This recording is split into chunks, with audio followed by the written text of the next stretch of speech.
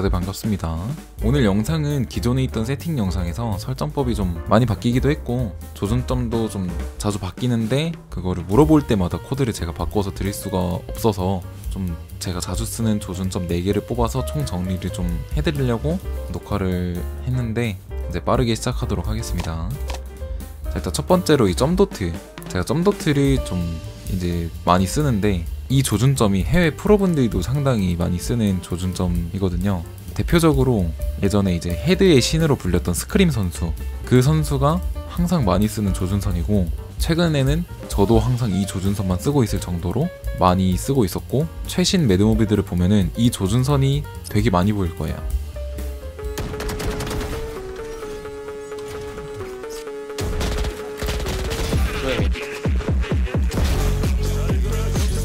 한번 삘 타면 절대 못 막는 조준선인데 대신에 이제 점 도트 특유의 기복은 진짜 어쩔 수 없는 것 같아요. aim 연습으로 커버를 치거나 말리면 다른 조준점을 쓰는 거를 저는 추천을 드립니다. 색상은 프로분들은 청록색을 그냥 간단하게 이렇게 쓰시는데 저는 이 색상이 유튜브에서 봤는데 프로그래머 분들이 모든 맵에서 가장 잘 보이는 대표적인 색깔이라고 해서 이걸 쓰고 있습니다. 자 그리고 두 번째로 검은색 132 조준선인데 원래는 이거에 흰색 버전을 많이 썼는데 조금 두꺼운 감이 없지 않아 있어서 초탄 잡기가 힘들었거든요 근데 이제 검은색으로 바꾸면 조금 더 얇아 보이죠? 적도 잘 보이고 초탄 잡기도 쉽고 검은색이라서 잘 보여요. 구조물에 방해를 안 받거든요. 근데 이제 여기서 흰색으로 바꾸면은 이제 펌플럭스 피닉스의 스위게츠 선수 에임이 좋기로 좀 되게 유명한 선수죠. 그 선수의 조준선이 되는데 저는 여기에 검은색 버전을 더 선호해서 사용하는 편입니다. 자 그리고 이 흰색 네모. 제가 진짜 총을 잘 쏜다 할 때의 그 전성기 시절의 mad movie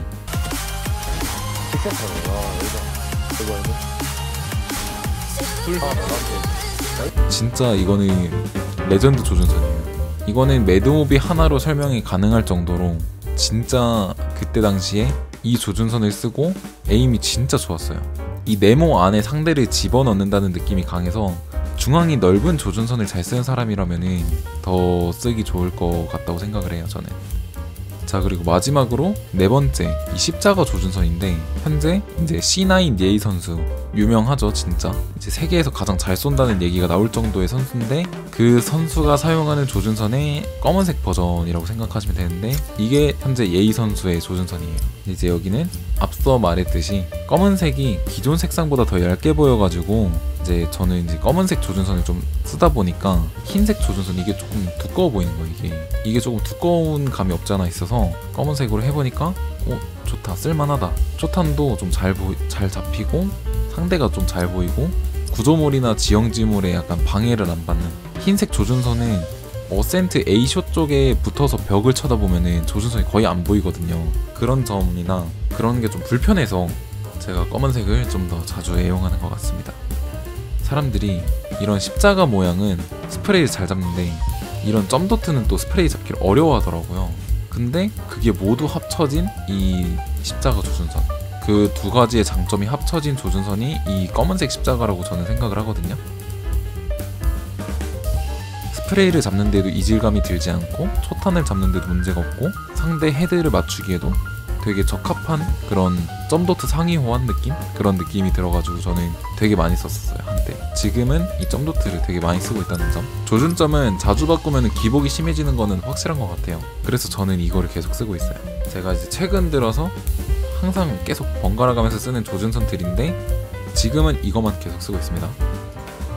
그리고 저격소총 조준경 이것도 좀 많이 사람들이 생각을 하시는데 저는 청록색이 아니라 명령 BOFF에 투명도 1에 두께 0.7 이게 가장 저는 적합하게 잘 보이더라고요. 제 세팅을 보여드리자면은 황색체 1생명을 쓰고 있고 한국어 쓰고 있고 감도 800dpi에 0.44 중감도 1 raw input 저는 키고 사용합니다. 그리고 미니맵은 뭐 대충 제가 보기 편하게끔 고정해놓고 쓰는 편인데 미니맵은 각자 다 자신이 보기 편하게끔 해서 보시면 될 것 같아요. 그리고 이 항상 소지품 보기 이거는 오른쪽 아래에 본인의 총기 여부를 표시해주는 건데 총을 먹었는지 안 먹었는지 잘 모를 때 그럴 때 여기를 보면 되기는 한데 대부분 보통 보진 않고 그냥 1번을 눌러보거나 하죠. 그리고 그리고 팀원 머리 위에 계속 팀원의 스킬, 체력, 무기 이런 게 계속 보여서 불편하다. 그럼 이 플레이어 장비 항상 표시 이거를 끄시면 됩니다. 이거를 모르시는 분들이 계시더라고요. 그리고 이 미성년자 컨텐츠는 아시아 서버라서 이렇게 보인다는 점. 한섭은 이거 안 보여요.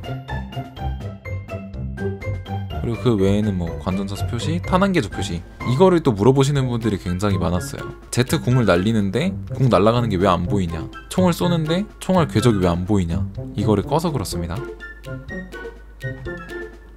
그리고 조작에 저는 이제 스나이퍼 쓸 때 오퍼레이터나 이런 걸 쓸 때는 길게 누르기를 사용하고 있고 AR이나 헤드헌터 이런 거는 켜기 끄기로 사용하고 있습니다. 이게 저격 소총은 길게 누르기를 쓰면은 줌이 조금 더 빨리 돼요. 근데 이거는 왜 안 쓰냐? 줌을 쓰는 타이밍은 진짜 신중하게 한 발 한 발을 쏠 거기 때문에 굳이 줌 속도가 빠를 필요가 없어서 저는 이렇게 사용하고 있습니다. 그리고 행동에서 뭐 스킬은 기본 세팅으로 사용하고 있고 점프는 wheel up으로 씁니다 저는 wheel up으로 bunny hop 쳐요 이제 여기서 세팅이 좀 중요한데 저는 이제 백그라운드에서 FPS 제한 이거를 저는 이거 두 개를 키는데 이거 두 개를 키는 이유는 이거는 이제 알트 탭 했을 때 화면 내려갈 때 그때 이제 프레임을 많이 잡아먹어서 다른 거에 렉이 걸릴 수 있기 때문에 이거는 이렇게 해놨고 모든 상황에서 최대 FPS 설정 이거를 300으로 해둔 이유는 어차피 모니터는 대부분 240Hz를 사용할 거고 그 이하를 쓸 거예요. 360Hz 모니터를 쓰는 사람은 극히 드물기 때문에 그리고 이제 어떤 프로 선수분들 예의 선수인가? 얘기하는 걸 들었는데 300으로 해두면은 인풋렉 in-game 렉이 조금 줄어든 느낌을 받았다라고 해서 저도 그냥 300으로 고정해서 쓰고 있습니다. 그리고 이거는 켜짐 boost가 무조건 좋아요. 그리고 이거는 전체 화면. 이 전체 화면 창모드로 하시는 분들이 있는데 Alt Tab을 했을 때 화면 꺼지는 게 싫어서 전체 화면 창모드를 많이 쓰시거든요 이거 전체 화면으로 하면은 렉이 확 줄어드는 게 느껴질 거예요 진짜 저는 그거를 감수하더라도 전체 화면에 쓰시는 걸 추천드리고 검은 화면이 좀 오래 지속된다 그거는 본인의 이 윈도우 윈도우 헤르츠랑 여기에서 설정된 헤르츠랑 달라서 그렇게 되는 거니까 그거 한번 확인해 보시면 되겠습니다. 그리고 그래픽 품질 이거는 Yay 선수 세팅을 그대로 따라 했고요. UI 품질 중간으로 해둔 이유는 그냥 좀뭐 데스매치 끝날 때 화면이 너무 어두워서 조금 밝아지니까 그 밝아진 걸로 보고 저는 끝까지 상대를 잡다 보니까 중간으로 해놓고 나머지는 다 낮은. 그리고 multithread 렌더링 켜짐. 이게 뭔지 그런 거는 인터넷에 검색해 보시길 바라고. vignette 효과는 보시면 나와 있죠? 화면 중앙이 집중할 수 있도록 화면 모서리를 어둡게 합니다. 그래픽 카드 성능이 약간 떨어질 수 있습니다. 근데 발로란트는 그래픽 카드보다는 CPU가 중요해요. CPU가 중요하기 때문에 저는 이거를 그냥 켜놓고 이제 Yay 선수가 쓰길래 그냥 쓰고 있습니다. 그리고 anti-aliasing 이방성 필터링 이것도 이제 눈의 피로를 조금 덜어주는 세팅으로 알고 있거든요. 너무 낮추면은 살짝 좀 각져 보이고 조금 그런 게 있기는 한데 옛날에는 이렇게 썼어요 저는. 이것도 다 끄고. 근데 Yay 선수가 이렇게 쓴다길래 세팅 똑같이 써보고 있고 선명도 향상 bloom 효과 쓰는데 bloom 효과는 제가 원래 안 썼거든요. 이게 좀 렉이 걸려요. 근데 이거를 쓰는 이유가 소바 recon이 너무 잘 보여요 이거 이걸 쓰면 소바 recon이 이게 팀 거는 파란색으로 이렇게 쫙 보이고 적팀 거는 안 걸릴 땐 노란색으로 보이는데 걸릴 때 빨간색으로 보이니까 자신이 recon에 걸리는지 안 걸리는지 눈에 보여요 그게. 그리고 심지어 상대 recon이 빨간색으로 보이니까 또 부수기도 쉬워 잘 보여서. 그리고 통계는 이제 클라이언트 FPS 300까지 잘 나오는지 뭐 그런 거 보고 있고 서버 tick rate 이것도 보고 있고 너무 그거 되면은 좀 문제가 되니까 지연 시간 이것도 보고 있고 패킷 손실도. 렉이 걸리면 렉이 걸리는 이유를 찾으려고 이거를 켜놓는 거예요. 그리고 소리 설정은 HRTF 이거를 키면은 약간 이것저것 되게 잘 들려요 그냥. 어, 그냥 더 잘 들린다고 생각하시면 돼요. 그리고 엔비디아 설정을 궁금해 하실 분들도 있을 것 같아서 말씀드리지만 가장 대표적인 것만 좀 골라서 말씀드리자면 저지연 모드는 켜기로 해놨고 나머지는 웬만하면은 전부 다 기본으로 냅두고 있습니다. 이제 헤르츠 뽑아내는 거 최대 주사율 뭐 그거는 사용 가능한 최고 그리고 전원 관리 모드 최고의 성능 사용하고 있습니다.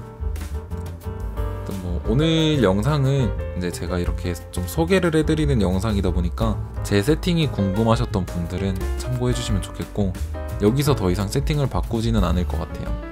이제 유튜브 영상에 조준선 뭔가요? 감도 뭔가요? 하면은 그냥 이 영상 링크로 답변을 다 달아드리려고 제가 이렇게 영상을 만든 거니까 다들 좋아요 구독 한 번씩 눌러주시길 바라고 댓글 많이 달아주시고 좋아요도 좀 눌러주세요 지금 새벽 5시 50분에 이렇게 녹화를 하고 있습니다 내일 또 방송하고 그 다음에 또 스크림 대회 연습하면서 이번 대회도 나가고 되게 열심히 하고 있으니까 다들 좋아요랑 댓글 좀